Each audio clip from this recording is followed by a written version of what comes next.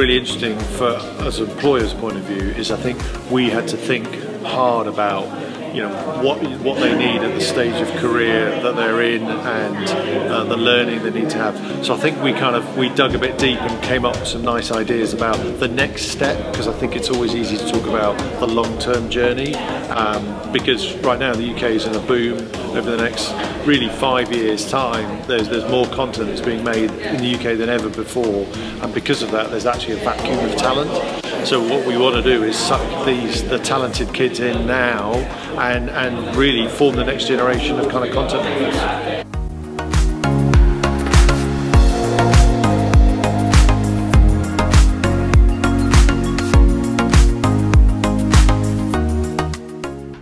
We're here today uh, at Bucks College Group, who we work in partnership with, and today was all about about the students getting some experience within the plant and construction industry. We've had our, so our Mobile Operator Skills Hub, which is a simulator suite and, and mobile classroom. We've been able to talk to the students a bit about the construction sector, uh, what the plant industry is like, talked a bit about how they would access employment opportunities within the sector, particularly around apprenticeships. It seems like they're doing a good job. I heard about they're doing um, next year, they're doing for apprenticeship and training and stuff like that. Sounds like I want to get involved to be honest. Like a lot of opportunities opening up for us this year. So it's been really a fantastic journey. We've had Guinot in, we've got Steiner and we've got Cliveden who've come in to talk to the students today. Really it's to look at industry links and get the students used to what's actually happening in the industry and what they need to do to be work ready by the time they leave the college. Guinot have come in for our level three students and they've shown them an active treatment um, and what it does, how it works for the client.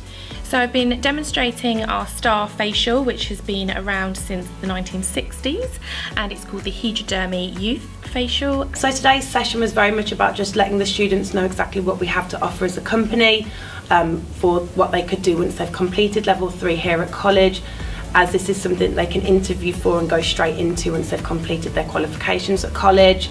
You know, alongside all the other routes that they can take, this is just another opportunity and something that they can keep in the back of their mind while they're studying.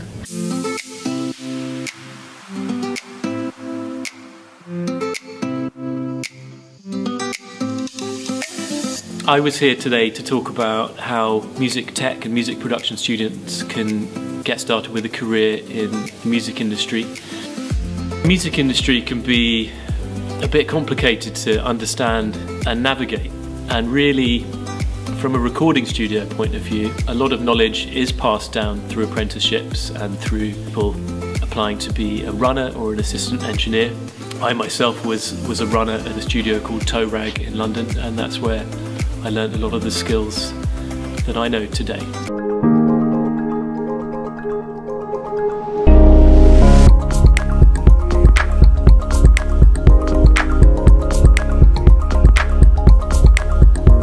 Today we've got a range of public service professionals in from the armed forces, emergency services and the non-uniform sector.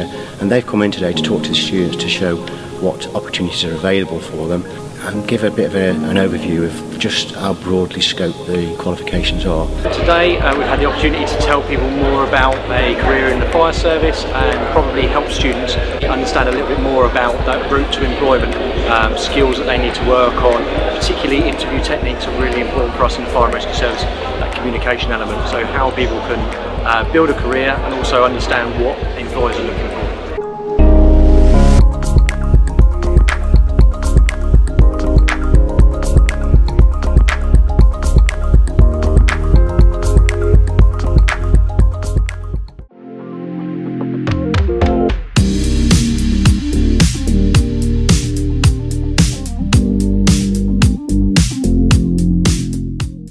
Today has been um, a wonderful opportunity to, um, as a company, be able to come in and speak to different groups of your students who are studying at different levels about what future opportunities there are for them whilst they're doing their, their courses or future opportunities for career growth for them.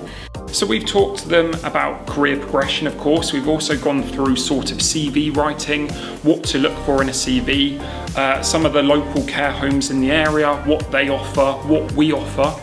Uh, there's a lot of things that you can get into after you're like level three and you've got your qualification and if you straight want to go into a role and be a practitioner or if you want to go and do further education you can do whilst working in a role. They also explained to us how our job roles wouldn't just be stuck to like being in a nursery setting or just being in like a preschool. We tried to bring along real life experience as well as um, showing them some theoretical employability skills and behaviours that we're looking for as an employer.